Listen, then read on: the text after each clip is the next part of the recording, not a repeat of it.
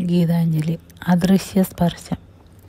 അദ്ദേഹമാണ് എന്റെ ഉള്ളിന്റെ ഉള്ളിലിരുന്ന് തന്റെ അദൃശ്യ സ്പർശനത്താൽ എന്നെ ഉണർത്തുന്നത്. അദ്ദേഹമാണ് എന്റെ കൺകളിൽ തന്റെ വശ്യത നിറയ്ക്കുന്നത്.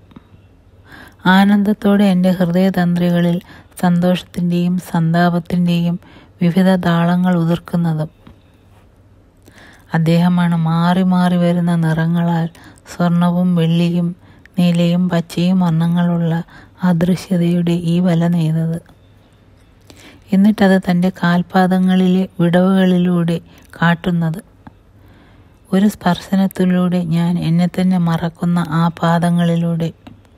ദിനങ്ങളും യുഗങ്ങളും കടന്നു പോയിക്കൊണ്ടിരിക്കും അദ്ദേഹം അപ്പോഴെല്ലാം എന്റെ ഹൃദയത്തിനുള്ളിൽ പല പല പേരുകളിൽ വ്യാപരിക്കും. പല രൂപങ്ങളിൽ സന്തോഷത്തിന്റെയും സങ്കടത്തിന്റെയും ഉന്മത്ത ഭാവങ്ങളിൽ